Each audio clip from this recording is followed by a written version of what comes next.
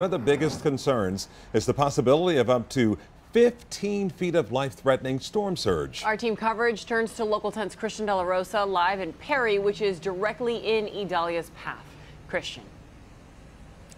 Right here, Taylor County, you know, we've had several showers move through, but other than that, it's been quite a pleasant evening. So much so, it's starting to feel eerie.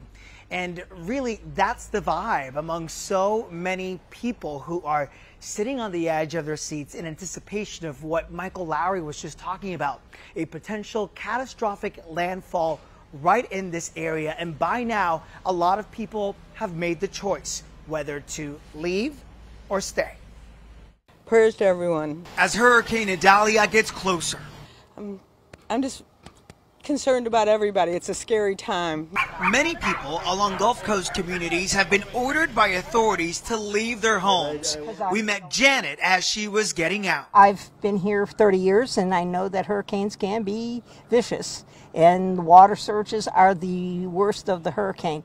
Eric Kwaszowski was boarding up a friend's business, but not his house. Are you going to evacuate? Uh, no. And what are you doing at home to make sure you're good to hunker down? I'm doing nothing. I don't really have a problem with these. I'm living here for 30 years, and hurricanes are hurricanes.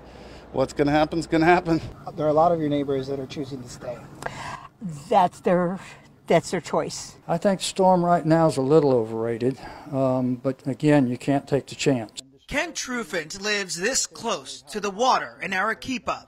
Tuesday, king tides had already submerged some of the roads here. And in his 30 years living in this home, he says he's never seen a hurricane like Idalia come to his shore. When we spoke, he planned to ride out the storm here, but wasn't sure. But what if we face another Ian like down south? That storm was supposed to come right over the top of me. Instead, it took a right hand turn and went down into Fort Myers. North of here, in Taylor County, shelters closed amid the threat of Idalia's wrath. So Lovey Smith took a bus going inland. This is your only choice. That's my only choice, you know. Are you afraid of the storm?